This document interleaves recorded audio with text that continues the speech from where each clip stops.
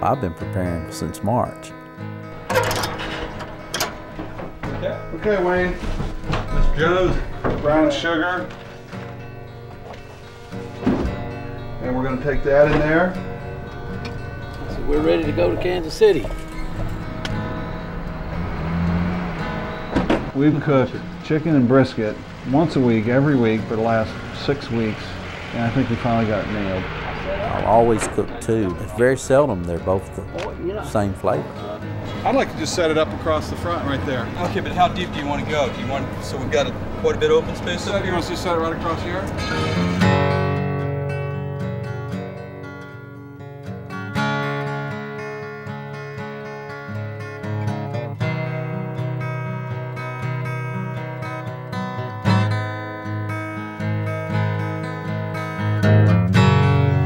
They've got a crown and a robe that looks kind of like out of a 57 movie, and there's a lot of people wanting to wear it. I mean, there's just a lot of people want to wear that thing. It might look like Ralph Kramden special, but I sure wish I had it. I do wish I had it. This barbecue community, uh, they're a good bunch of people.